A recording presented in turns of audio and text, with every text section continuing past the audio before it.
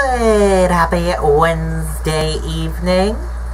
I'm Riley King, and welcome to this Wednesday evening edition of Sports with Riley King. Let's begin right now.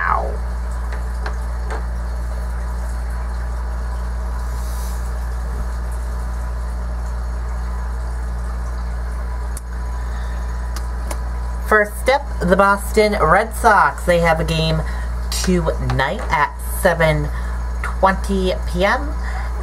with Atlanta Braves. You can watch tonight's game on ESPN NESN as well. Let's go Boston Red Sox. Hopefully the Boston Red Sox can win tonight's game. Happening right now, New Hampshire Fisher Cats. They are currently playing a game right now with the Hartford Yard Goats. And it is in the seventh, and um, currently the score is Hartford Yard Goats 6 and New Hampshire Fisher Cats 2.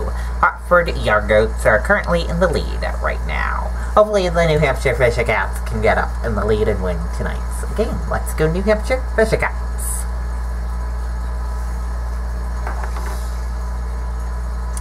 And take a look at this.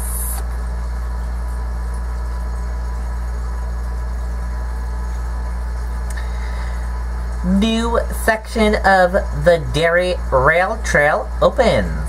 Let's take a listen to that video from WMUR News 9. Roll with us and get a $2,500 signing bonus. McLane Concord has immediate warehouse positions open. Starting pay up to $18 per hour. Walk-ins are welcome every Tuesday. McLane Concord. Apply today. McLane is an equal opportunity employer. All right, and a big day for the town of Derry and rail trail enthusiasts. The newest section of the Granite State Rail Trail opened up over Hood Dam tonight. The section's only three tenths of a mile, but it took years to complete because major work was needed over the dam to secure the trail. The price tag nearly half a million dollars. And now the only section that is not paved from Salem to Manchester Airport is about a one mile section between Derry and Londonderry. We're so so thrilled because this is the actual last section of uh, rail bed that's owned by the town at this point. So uh, this we have basically completed now the rail trail through the length of Derry that is owned by the town. We do have one more section that is privately owned that we need to work on to connect to Londonderry Rail Trail, and uh, we're working on that currently. Really appreciate the people that work so hard on this. It's a lot of town and city council meetings Yeah. they go through to push this through, and it's uh, Time to put air in the tires. Let's and get out there, Tom. okay. Okay, and there you go. Very cool indeed. And that is it for this evening edition of Sports with Riley King. Thank you for watching and have a great evening. Goodbye and good night.